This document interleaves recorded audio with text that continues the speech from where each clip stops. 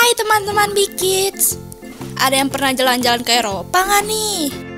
Kali ini Big Kids akan membahas negara-negara di Eropa Hayo, kalian pasti penasaran kan? Yuk kita simak video yang telah dirangkum oleh Big Kids 1.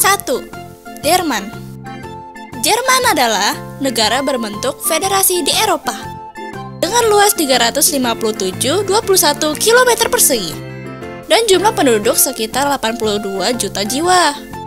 Negara dengan 16 negara bagian ini menjadi anggota kunci organisasi Uni Eropa atau penduduk terbanyak, penghubung transportasi barang dan jasa antar negara sekawasan, serta menjadi negara dengan penduduk imigran ketiga terbesar dunia. 2. Prancis Prancis adalah sebuah negara yang teritori metropolitannya terletak di Eropa Barat dan juga memiliki berbagai pulau dan teritori seberang laut yang terletak di benua lain. Karena memiliki departemen seberang laut, Prancis juga berbagi perbatasan tanah dengan Brasil dan Suriname, atau perbatasan dengan Guyana Prancis, dan Saint Martin atau perbatasan dengan Saint Martin. Prancis juga terhubung dengan Britania Raya oleh terowongan Channel yang berada di bawah selat Inggris. 3. Italia Italia adalah sebuah negara kesatuan republik parlementer di Eropa, terletak di jantung Laut Mediterania. Italia mencakup area seluas 301-338 km persegi dan dipengaruhi oleh iklim sedang dan iklim Mediterania. Dengan jumlah penduduk mencapai 61 juta jiwa. Italia merupakan negara anggota Uni Eropa ketiga yang paling banyak penduduknya, setelah Jerman dan Prancis.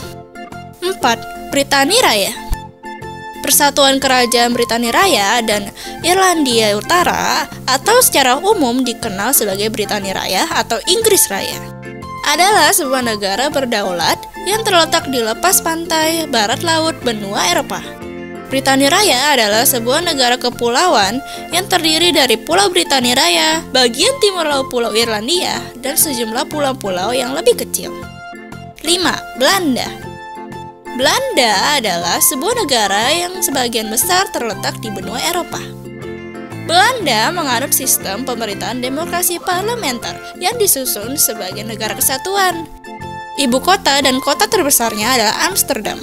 Sedangkan pusat pemerintahan dan kedudukan monarkinya berada di Den Haag. Ya, tidak terasa kita sudah di penghujung video nih teman-teman. Kira-kira teman-teman mau berkunjung ke negara apa nih? Atau teman-teman mau tahu negara-negara lainnya? Ditunggu untuk pembahasan Bikir selanjutnya ya.